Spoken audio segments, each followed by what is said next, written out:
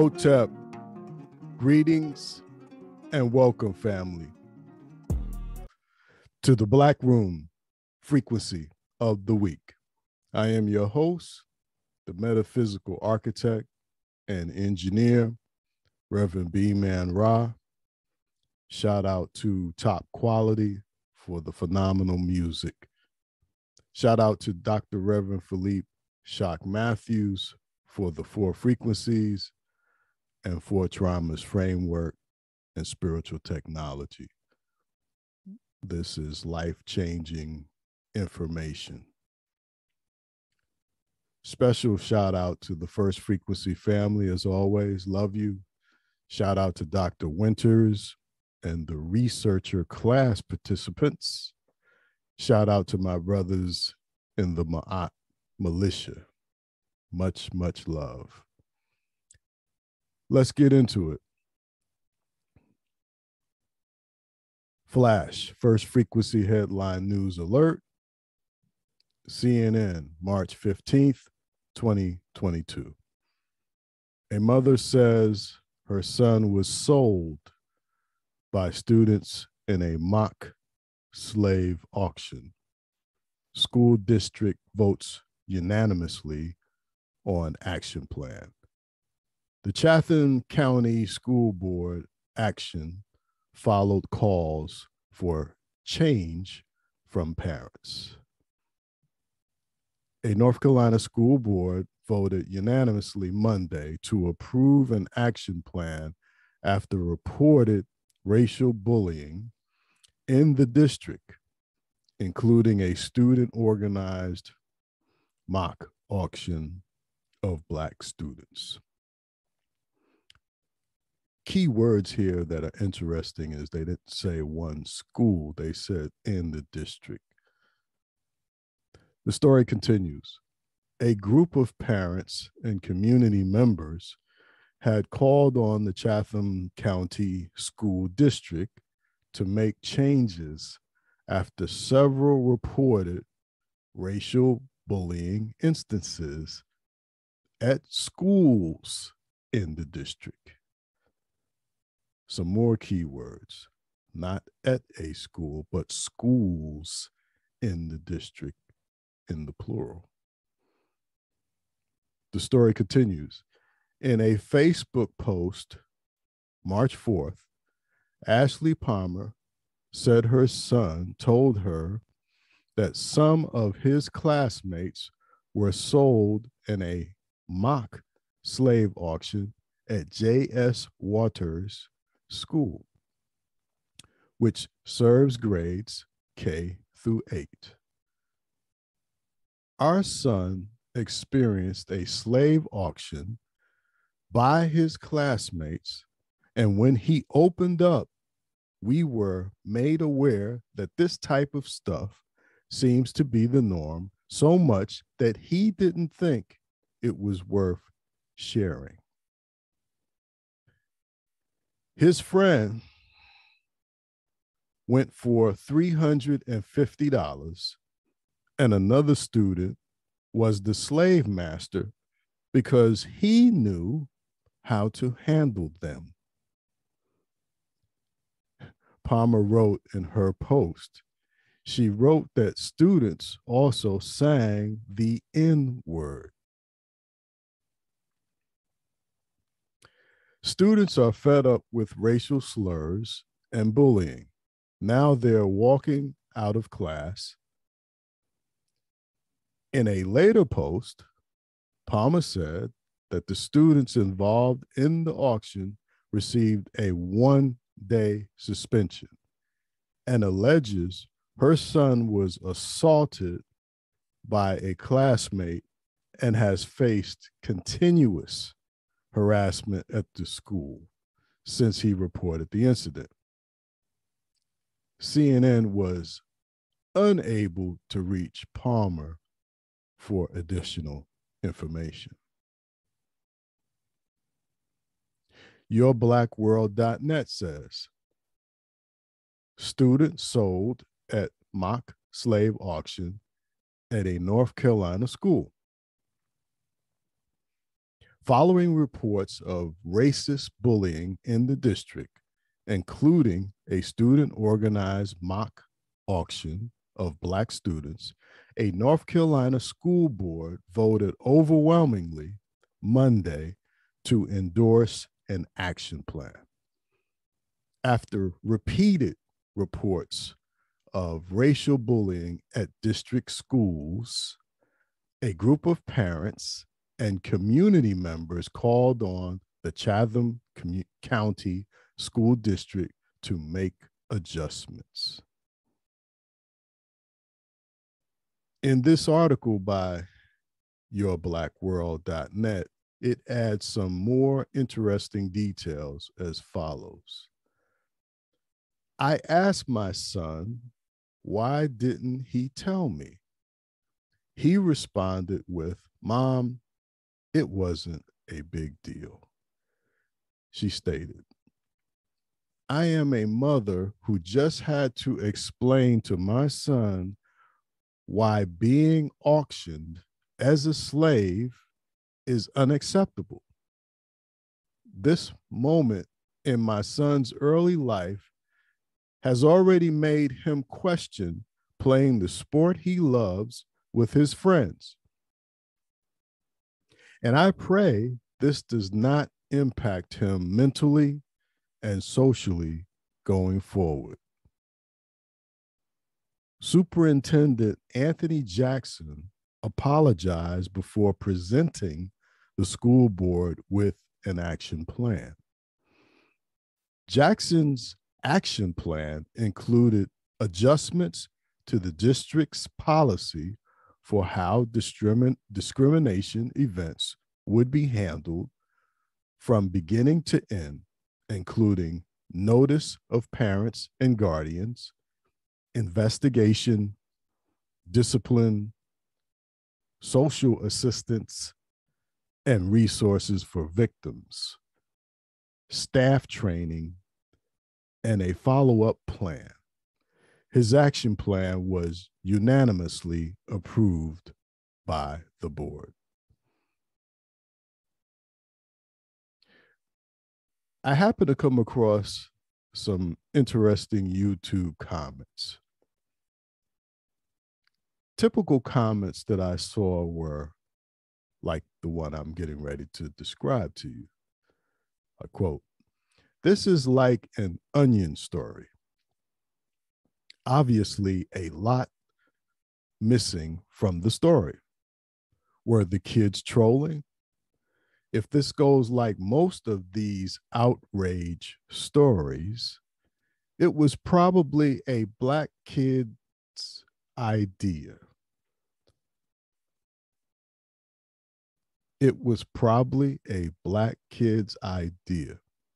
Hmm.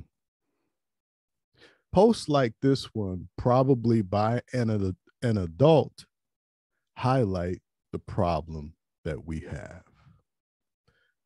This article hit me hard on so many levels. North Carolina is near where I live, and North Carolina is the birthplace for many of my family members. The family typically holds family reunions in North Carolina. The irony is Chatham County, Goldston, North Carolina, is in the heart and middle of North Carolina between interstates 95, 40, and 85 near Raleigh and Durham. J.S. Waters School is a K through 8 school with 227 students. 65% are white. The 34 black students only make up 14% of its enrollment. Can you imagine the intimidation? The participants of this case study include a majority second frequency group, a group of mixed race students, a group of black students, and a black superintendent, Dr. Anthony Jackson. Is it an is it an accident due to the fact that the mother who reported the incident is white and the father who stood to the side is black and the child is biracial. Would we have gotten the same amount of coverage? Would anything ever be reported? You getting the big picture here? There's a lot of levels to this. The students felt so comfortable, they recorded a video harmonizing the N word. This indicates learned behavior. Children are influenceable, very capable of being influenced. So called mock slave auction sightings are popping up all over the United States and are making headlines more and more each year, particularly in the South. However, places like Ohio, Chicago, and as far west as Utah have been reported recently.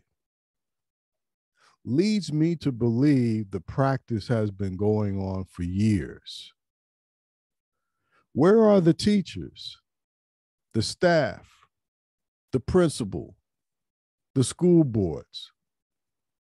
What kind of people live in a community that breeds this type of uncivilized behavior as acceptable in 2022? Is anyone talking about this disturbing trend on a national level? What is being done about this?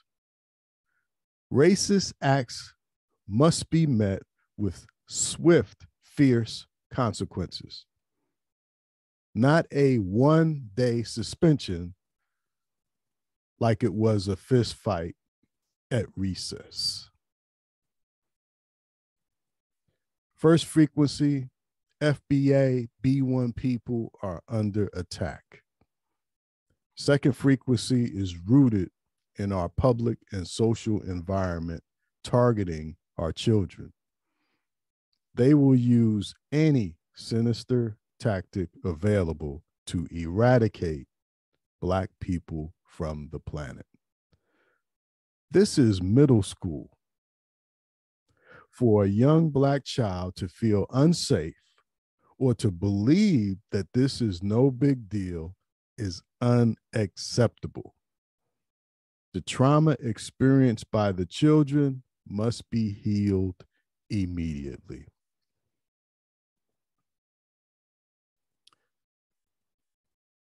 Suggested solutions.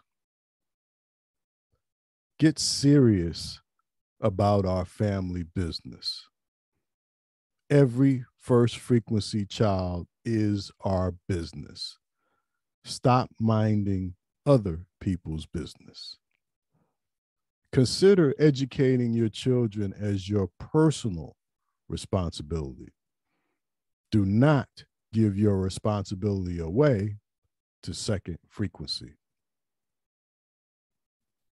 Consider protecting your children as your personal responsibility.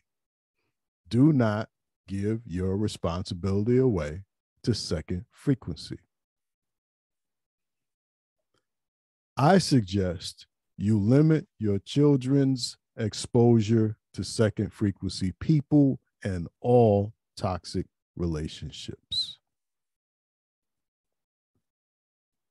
Ensure your children have a first frequency understanding of who they are in this world and how they fit in. The goddess God knowledge must be passed down to them. Ensure you are modeling the way. Provi- provide effective leadership. Children react more to what they see than maybe what they are told. If your children experience trauma, immediately help them or get first frequency help. Immediately. Do not waste time. Your child's bedroom should be a black room. It's never too early to build a black room. From the womb, the original black room, to the tomb, you should always have one. Raise your children on the principles of Ma'at truth, balance, order, harmony, righteousness, the law, morality, and justice. Remember, you do not have to be a biological parent to affect the life of a child positively.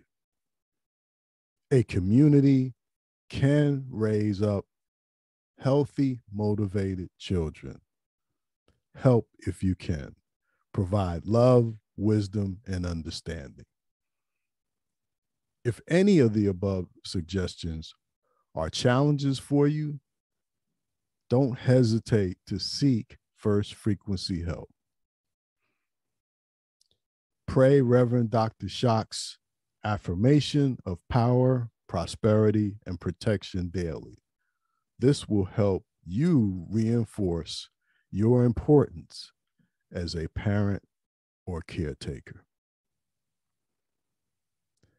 Hit the like button, family, and comment if you enjoyed this Black Room frequency of the week. Till we connect again, stay in the Black Room.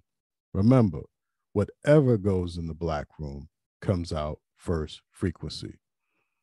Join the first frequency of oneness on Patreon at www.patreon.com forward slash Rev Shock. Check out and hit the subscribe button to the Philippe Shock Matthews YouTube network.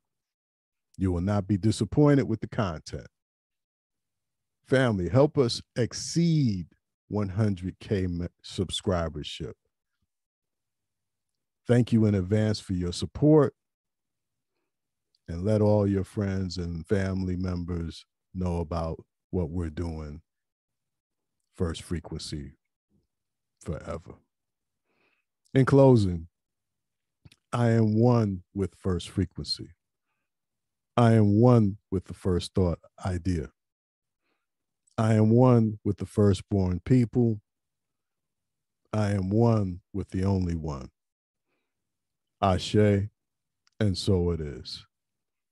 Stay black, stay B1, stay FBA, stay first frequency, stay one with the only one. Ashe and Hotep.